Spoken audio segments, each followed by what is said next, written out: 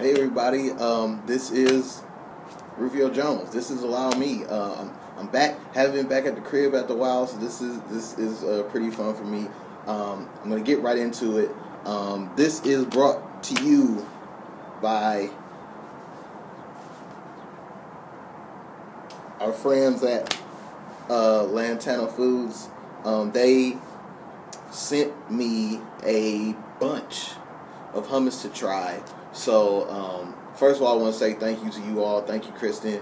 Um, and uh, we're gonna get right into it. So they they sent, they sent me a bunch, uh, and they're all um, hummus that can only be had like on the west side of the country. So um, I did a poll betwixt Twitter and Facebook, and it appeared that as a whole you wanted me to try this first. This is uh, the three pepper hummus, and it says extra spicy on it.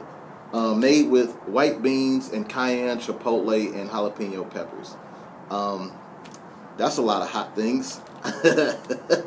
um, I was uh, I was told by by Quinn that I should have some sort of milk or milk substitute near me it is near me, but I just got to go inside to get it. So technically, I consider that near me. But I'm gonna try and uh, get through this quick because it's a little chilly out here. So I'm opening it up. There you have it.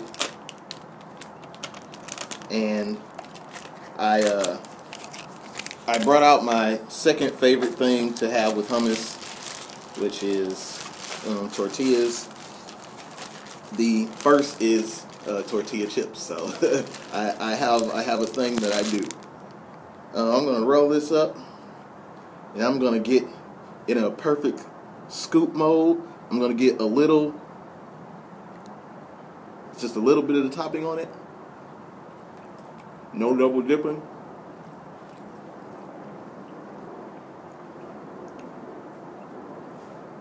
Oh man, hold on. no double dipping.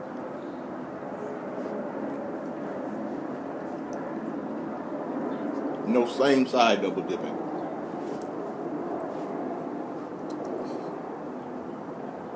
Ooh. Um. so it's delicious.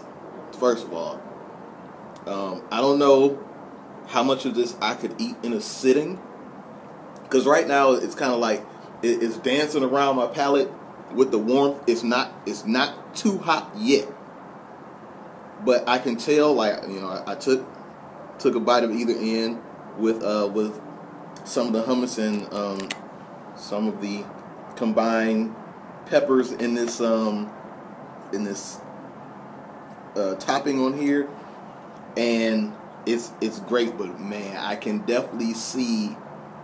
You know, maybe if I got like a couple more, I would have to put it back in the refrigerator. But this is amazing, and I think this will actually be real delicious on a sandwich. Um, you know, uh, if you had like uh, some sliced chicken breasts and, and, and some like white cheddar cheese or something like that, real real fancy. You know what I'm saying? Like like like real swagged out, and then spread this on on like uh, I don't know some some like tasty brioche bread or something. You would you would really have a good time.